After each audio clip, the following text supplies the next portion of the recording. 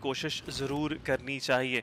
But furthermore D R S P move कर रही है निगमा गैलेक्सी के प्लेयर्स के साथ। उनकी एक फाइट बनती हुई रऊफ के सामने आते हुए प्लेयर नज़र आएँगे। दो प्लेयर्स के दरमियान से बग्गी घुमा कर ले जाते हैं प्लेयर डेल्टा बैक एंड के ऊपर टेक डाउन करते हुए प्लेयर को निगमा गैलेक्सी के रऊफ यहाँ पर आइसोलेट हो चुके हैं इस फाइट के अंदर। And team D R S possibly एक किल कंफर्म भी करती हुई नज़र आएगी। हमूदी की पोजिशन भी रिवील्ड है, लेकिन लौट जा रहे हैं सीधा रऊफ को रिवाइव करने के लिए रऊफ को मेक श्योर करना पड़ेगा। यहाँ पर अपने प्लेयर को राइट कॉल दें कि प्लेयर किस जगह पर मौजूद है? डीआरएस दूसरा प्लेयर भी यहाँ पर निगमा गैलेक्सी का डाउन करती हुई रऊफ का किल कंफर्म कर दिया जाएगा। रूल्स ओजी की तरफ़ से।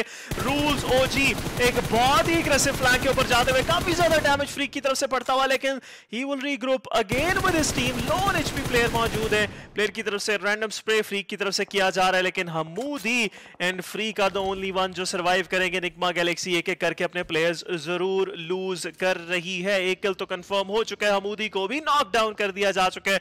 एंड डीआरएस पॉसिबली यहाँ पर निगमा गैलेक्सी के तीन पीसेस अपने बैग पैक में डालती हुई नज़र आएगी। हमें लाते तो यहाँ थ्री पीसेस यहाँ पर अपने बैक में डालते हुए नज़र आएगी ज़रूर लेकिन निगमा गैलेक्सी फ्री यहाँ पर आगे आगे आगे बढ़ते हुए नज़र आ रहे हैं हमें और उनकी तरफ़ से अब सर्वाइवल के जो स्टार्ट्स हैं उनको खींचने की कोशिश की जाएगी बट मेरा नहीं ख्याल ज़्यादा ये प्लेयर ज़िंदा रह पाएगा। मुझे लग रहा है कि कुछ सेकंड्स में प्लेयर लॉबी जाने वाला है और ये कास्टर कर्स एक बार फिर से लगती हुई उनको हम डैमेज पड़ता हुआ देख रहे हैं and within some seconds match क्या वाकई ये कास्टर कर्स है आज आप इस बात का जवाब दे दें।